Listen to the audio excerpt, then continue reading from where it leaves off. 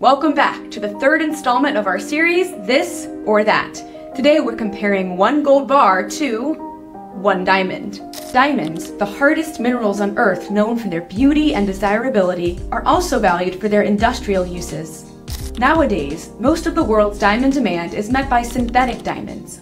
These synthetic diamonds are becoming more popular in jewelry because they're considered a more ethical and cheaper option. Now, I just have one question. Would you rather own a 1 kilo gold bar or this 3 carat diamond? Well, as of mid-April 2024, a 1 kilo gold bar and one of these 3 carat diamonds are both worth around $75,000. But price isn't everything. We also have to consider which investment will appreciate more in value over time. Are you a fan of gold's steady reputation as a solid investment or the diamond's aesthetic appeal and widespread popularity? Comment below with your answer. Glimmering gold or dazzling diamonds?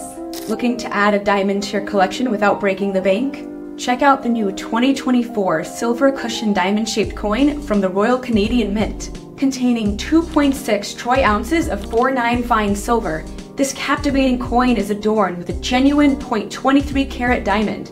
Purchase yours today to put on display. Stay tuned for more matchups. And remember, like, share, and subscribe for more fun and informative precious metals content from Bullion Exchanges.